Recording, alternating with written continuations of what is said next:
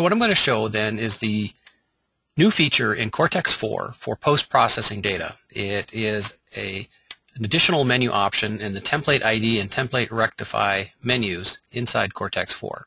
So what I have here is the old version of the software, the Cortex-3, in which we have two menu options.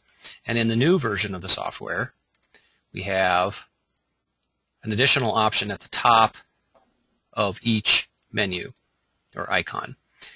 This particular option indicates that the operation is to be performed over all marker sets at once rather than just one marker set at a time. And this feature by itself is the new processing tool inside Cortex-4 that provides an incredible amount of power and uh, efficiency in, in the processing. By doing the work over all marker sets at once, the process becomes much more efficient.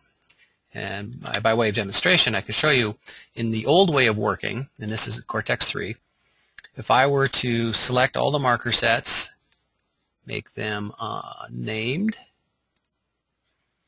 I'll go through each one, make it unnamed. Normally the way I would work then, if I'm starting from a raw set of data like this, and I'm that back and forth so you can see the data is unnamed all the way through, I would start with one of the marker sets. Uh, I would do a template ID on that marker set, and then I would do a template rectify. And this operation is something that I would perform for each of the marker sets in my capture. And what you can see then is that the data has only made it part way through. Once it gets reached a certain point, the template breaks down, markers have gotten lost, occluded, and so the template rectify stops because it's run out of enough markers to satisfy the template. And that's been the way it's normally worked for, for quite some time. And then if I were to go to the next person in the list, I would, or the next marker set, do that, template ID, template rectify. And again, you can see that the processing gets stuck about halfway through as soon as the interaction between different performers begins, and then it bogs down and has trouble finishing its operation. And it's finished and only, again, got about halfway through before it, uh, it had to fail.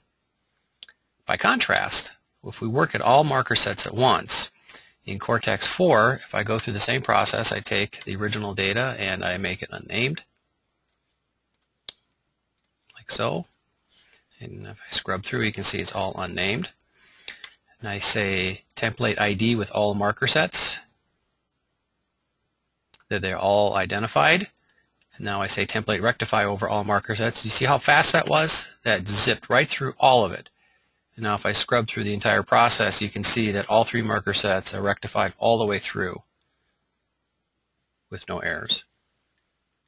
That's the difference between what we had before and what we have now with the holistic template processing in Cortex-4.